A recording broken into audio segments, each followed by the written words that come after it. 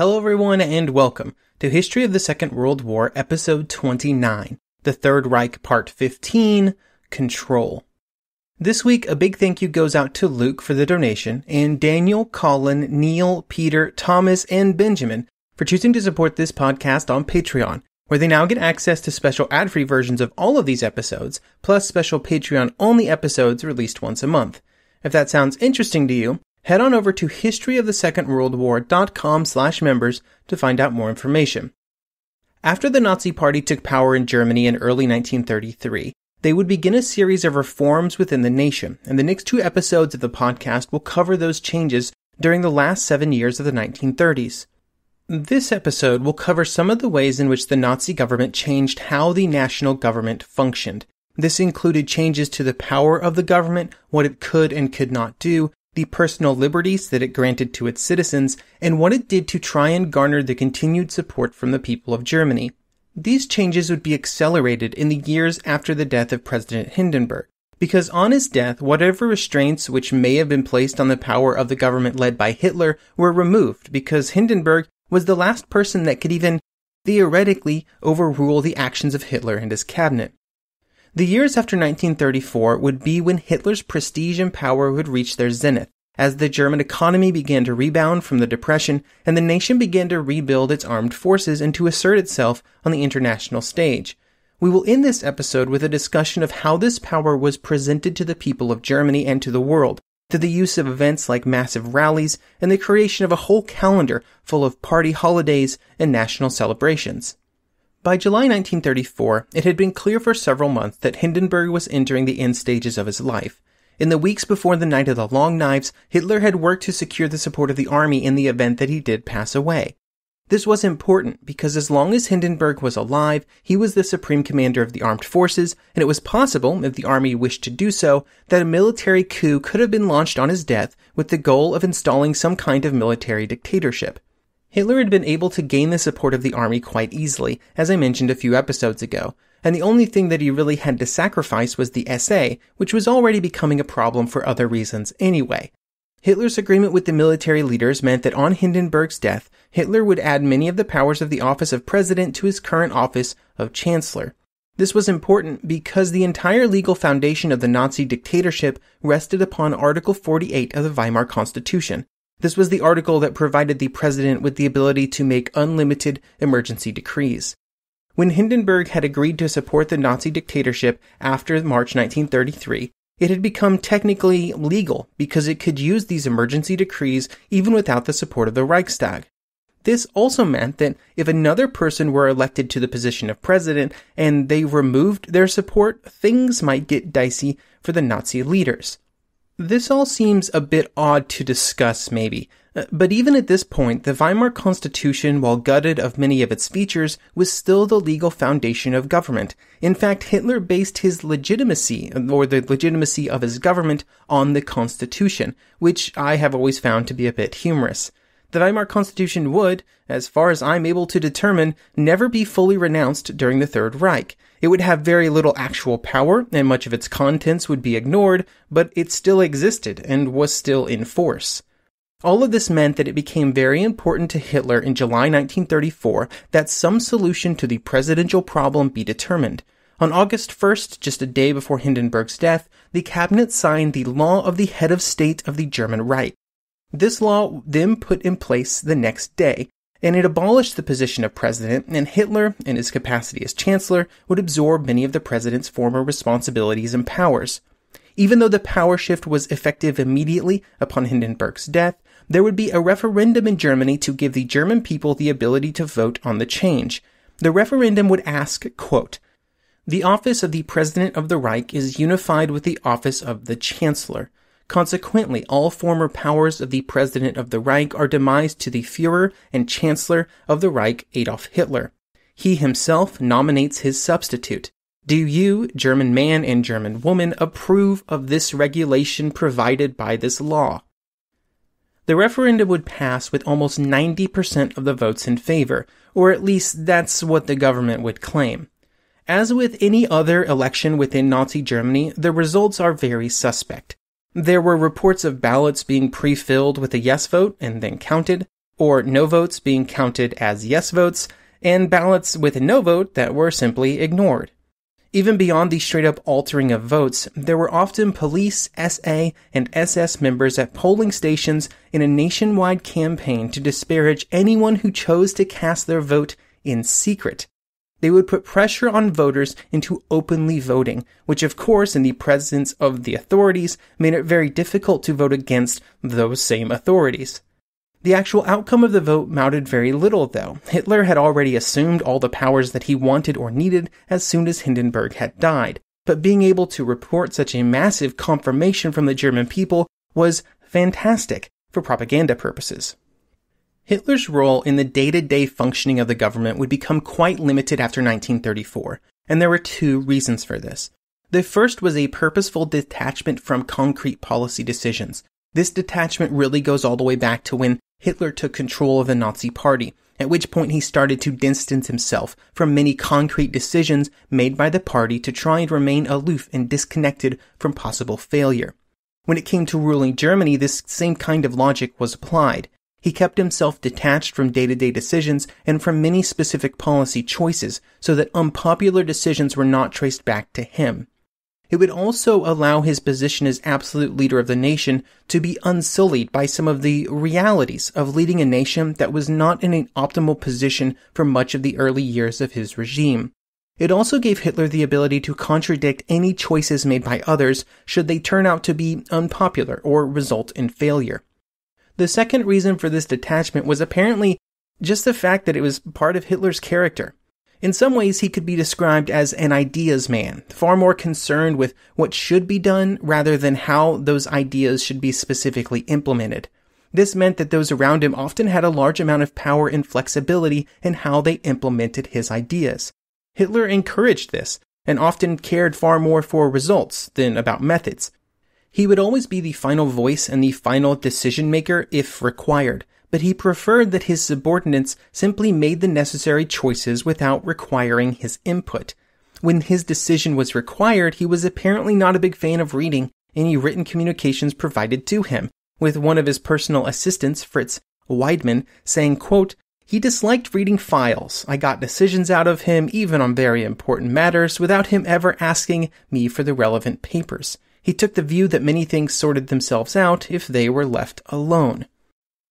Ian Kershaw, in his excellent biography of Hitler, would use the phrase working towards the Fuhrer to describe how the Nazi government functioned during this period.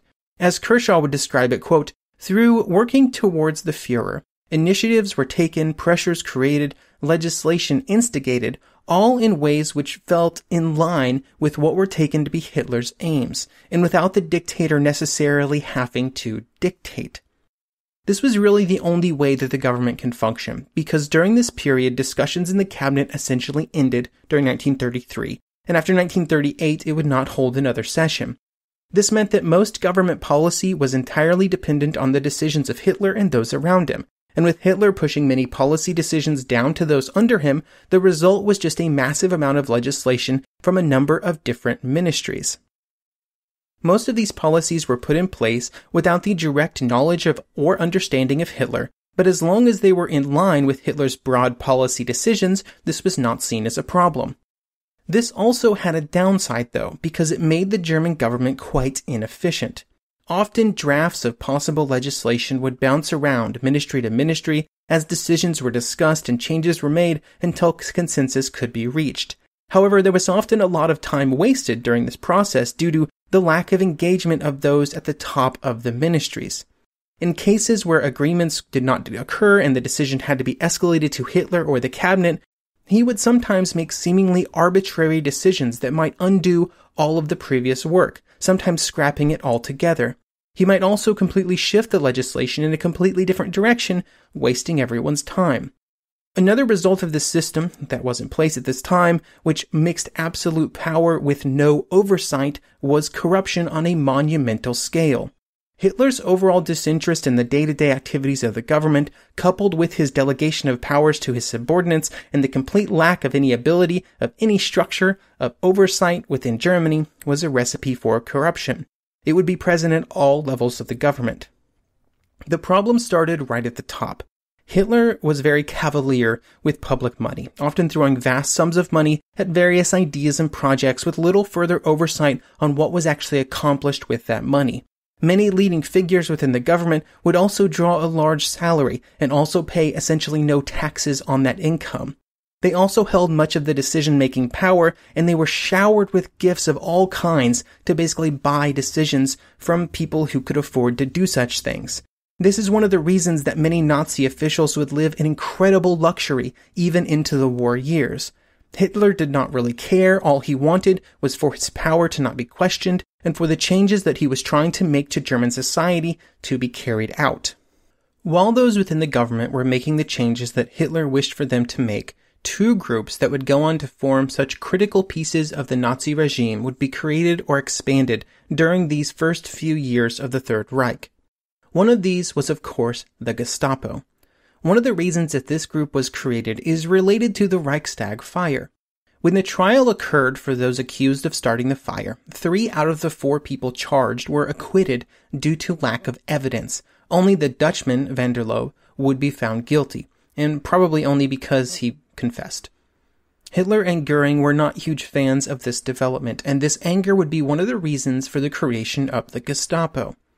The critical feature of the Gestapo was that in 1935, the Prussian Supreme Court of Administration, obviously influenced by Nazi leaders, ruled that actions of the Gestapo were not subject to judicial review. Basically, this put the Gestapo outside the law. This would later be made official for all of Germany on February 10, 1936, when a new law officially made the Gestapo above the law, and that its activities could not be interfered with by the courts. Having a group of secret police that were not accountable to anyone was obviously very useful for the government, but was of course disastrous for any kind of civil liberties in Germany. Through their actions, the Gestapo would purposefully cause fear among the German populace, choosing to, for example, arrest people from their houses in the early morning hours to maximize the amount of uncertainty in any German's mind. In such an environment, fear of the government and fear of what the Gestapo could be watching or who would tell the Gestapo something ran rampant throughout society. The Gestapo knew this and fostered and fed that fear. They, along with the Security Service or SD, used tens of thousands of informants that were just normal people within their communities, but they were also tasked with reporting on all activities. This caused paranoia for many Germans, and with no way of holding groups like the Gestapo accountable, it was often felt that there was nothing that could be done other than to try and stay on the good side of the government and the party. The other group that would really assert itself during this period was the SS, the group that would take over much of the position that the SA had formerly occupied. This organization, under the leadership of Heinrich Himmler, would, for example, take over control of the concentration camps, which had previously been mostly controlled by a mixture of SA, Gestapo, and local police. It was under Himmler's leadership that these camps were transitioned from the haphazard and disorganized set of camps to the organized and efficient installations that they would later become. During this process, the number of camps was actually reduced, down to just five camps that would still be open and operating during the summer of 1935. Along with this, the number of prisoners would also drop to just 4,000. Remember, during these early years, people often cycled in and then out of the concentration camps pretty quickly, and the pool of those at risk of being detained was exhausted. It was also during this period that the future of the camps was somewhat uncertain, and it was not completely clear if they would be used in the future. But this would begin to shift in 1937 when there was a serious effort not to finalize the closure of the camps, but instead to once again fill them with people. Himmler would set the number at 20,000, 20,000 prisoners that he wanted in the camps, and for the most part he just expected the SS to find people doing things wrong to fill them up. This was generally done by performing sweeps in cities, uh, rounding up homeless, prostitutes, drunks, and, and other people deemed social misfits. This would not be the first or last time that the SA just found people to arrest. For example, the SA would at times detain rich individuals in concentration camps, extort money from them, and only release them after the money had been paid. After 1937, the population in the camps would begin to rise, and new camps would also begin to be created, such as Sachsenhausen in 1936, Buchenwald in 1937, and others being established during this time as well. One of the criteria that was used by the Gestapo or the SS to determine who might be worth detaining or questioning was the amount of enthusiasm for the nation or party that was displayed by those individuals. The people would be provided with many more opportunities to display this enthusiasm due to the use of public holidays and celebrations in the Third Reich, which were designed to publicly show and celebrate the power and influence of the government. This included more trips to the voting booth as well. Like in November 1933, uh, these elections were, let's call them interesting, because there was only one political party allowed in Germany, the Nazi Party and this meant that the German people were either voting for the slate of Nazi candidates or for nobody, I guess. 93% of all ballots would be counted as a yes vote for the Nazi Party, but as with other elections after 1933, the results were heavily biased, with ballot rejection and vote rigging a frequent occurrence. There was also all of the social pressure aspects that were present in the referendum after Hindenburg's death. Along with elections of dubious validity, the Nazi Party would fill the calendar with national political events. This came in many forms parades, charity drives, relief programs, and of course, political rallies. Even those activities which theoretically helped certain sectors of German society, like relief programs, were not necessarily put in place to actually help those people, but instead simply to constantly mobilize the public with party approved activities. The goal was to make conformance to regime suggested actions and requests part of the norm. There were also many other public mass spectacles, like the anniversary of Hitler's appointment as Chancellor on January 30th, the founding of the party on February 24th, National Heroes Day in March, the swearing in of Hitler youth members in March, uh, which of course involved speeches and parades all over Germany. And then on April 20th, there was Hitler's birthday, in the fall, there would be a party rally in Nuremberg and harvest festivals and the anniversary celebrations of the beer hall Putsch. All of these were put in place to remind the German people that the Nazi Party and Germany as a nation was important, powerful, and should be celebrated. They were more than anything else propaganda events, and every parade, rally, speech, and event was simply a reminder of the Nazi Party and its place within society. The list of events goes on and on, and all of them culminated in the Nuremberg rally in early September. Starting in 1933, the largest and most important of these events were these rallies in Nuremberg, which were held over the course of a week in September.